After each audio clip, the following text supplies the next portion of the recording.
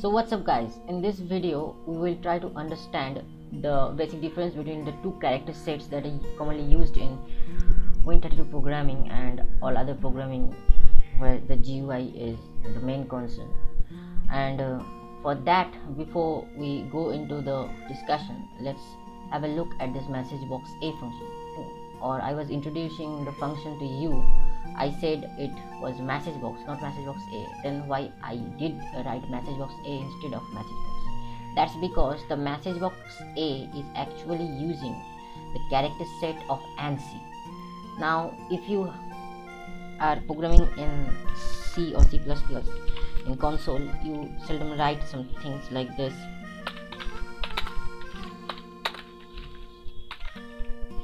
Now this char c is actually holding a ANSI character. This keyword char is used to define a ANSI character or the ASCII character.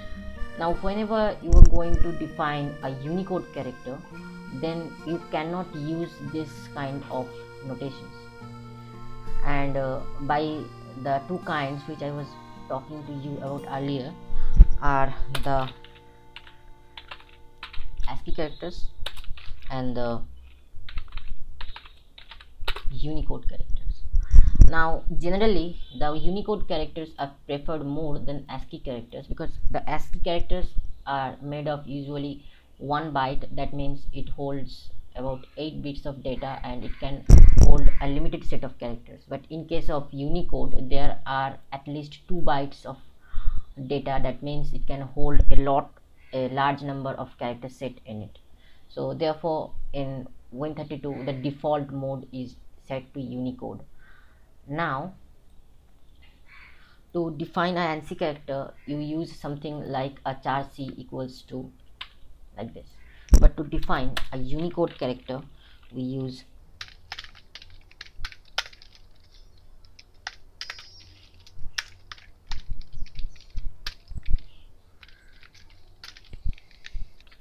that means that the WHSC equals to capital L and then the character or the character string. This capital L ensures that whatever passed inside these quotations are actually Unicode characters, not ASCII characters. And uh, throughout this tutorial, we shall be using Unicode characters rather than ASCII characters. So whenever you are using a Unicode character, the default the the last letter will be W and that defines a Unicode character. As you can see there are underlines. And if I have to remove this I have to turn these strings into Unicode strings. And it will work fine. But Windows have a different approach to this. Windows actually uses this kind of functions more. And as you can see uh, this is turned into purple. That means that this is not a function but a define. So in most of the functions that Windows use they have two kinds of values. One is a Unicode value and one is a ANSI value. So whenever I am using the message box the message box is defined something like this. That means if Unicode is defined or if Unicode is being used then the message box will by default denote the message box W function. Or if ASCII characters are being used then the message box will by default define the ASCII characters and use ASCII characters. Now to use a Unicode string you can just define the Unicode string something like this.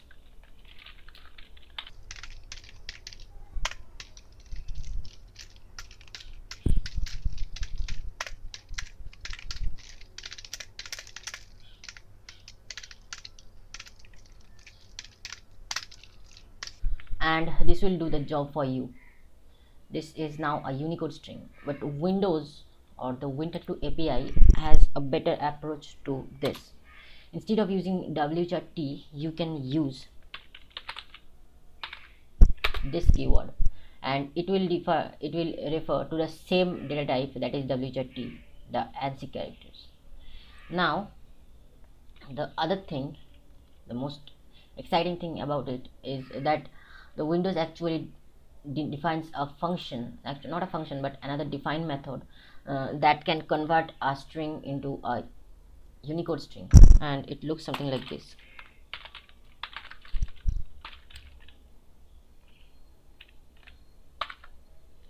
So as you can see that this ASCII string is now converted to a unicode string and we can easily pass the string here and run this program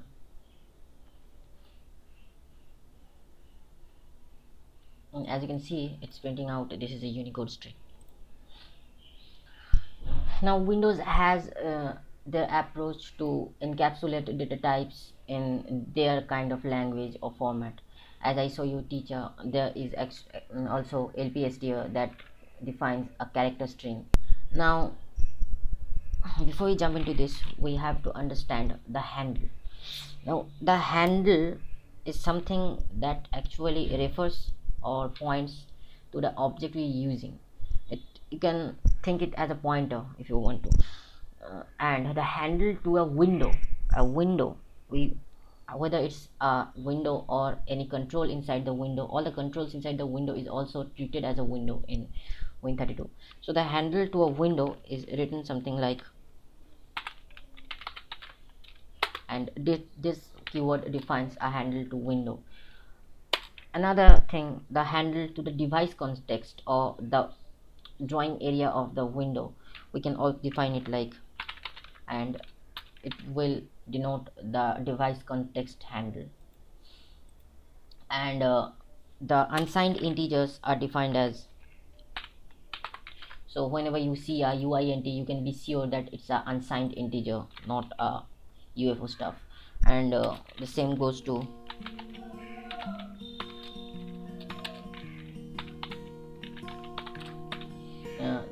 because both of these two data types are actually unsigned integers that are used to control the events. And uh, the best part of this is you can have either the first 16 bits of this integer or the last 16 bits of this integer by using the high word and the low word keyword that we will be discussing in later.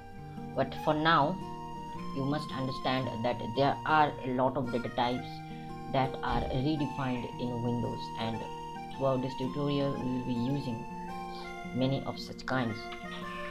So for now we can assure you that the whole tutorial series will be using unicode character strings. That means whenever you are defining a text you must use l in front of it or wrap it in the text function.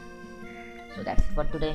Hit like if you like this video and comment if you have any problem to understand.